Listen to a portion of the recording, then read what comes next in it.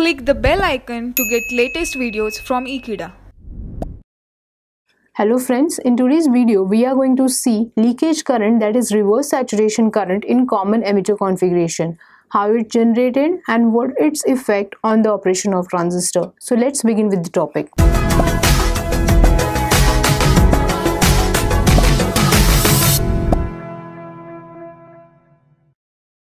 Common emitter configuration is nothing but the configuration in which emitter terminal is considered as a common terminal. Now, in this case, the base emitter junction is considered as the input and collector emitter junction is considered as output.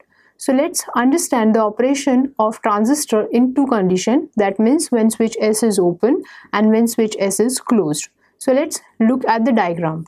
So under normal operation that means when switch S is closed the emitter base junction is forward biased by connecting positive terminal of battery to the emitter and negative terminal of battery to the base and collector emitter junction is reversed bias by applying negative terminal to the P region and positive terminal to the emitter region. So when emitter base junction is forward bias and collector emitter junction is reversed bias, the holes start moving from emitter to the base and this constitute emitter current IE. The movement of hole causes the flow of current. The direction of flow of current is same as the direction of flow of holes in PNP transistor. So in case of PNP transistor, the current flows due to the movement of holes and not because of the movement of electrons. So after emitter region, the holes enter into the base region. At the base region, the holes get combined with the electrons. As width of base region is small, very few holes get recombined with the electron and constitute a current that is base current. The value of base current is small as the base width is small. Next, the holes start moving towards the collector region most of the holes move towards the collector region because very few holes get combined with the electrons in base region. So the collector current is get formed that is called as IC. The collector current having maximum value as compared to base current because most of the holes injected to the collector region from the emitter region. So the collector current is also called as injected current. So this is what happened when switch S is closed. Now when switch S is get open, then what will happen? Let's have a look of that. When S is get open, the forward biasing of base emitter junction is get disconnected. Because of that, the base current becomes equals to zero.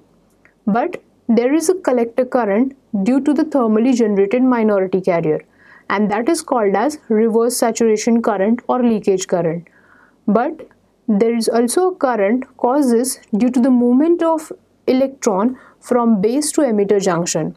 In case of common emitter configuration, the leakage current flows from emitter to collector and it is denoted by ICEO and it is given by ICEO is equals to ICO plus beta into ICO.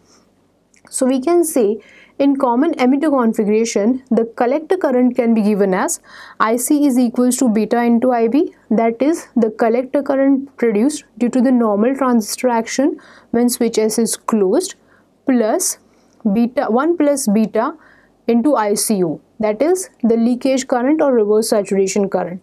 So from this equation we will come to know that the collector current is depend upon the value of beta the reverse saturation current depend upon the value of temperature. So as temperature is get change or when it, is get increase or decrease, it will changes the value of reverse saturation current.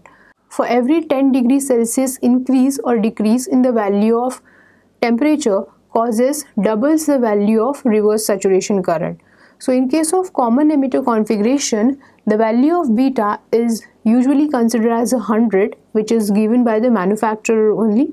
So we can say that in case of common emitter configuration, the collector current is beta times IB which is beta times larger than the collector current in common base configuration.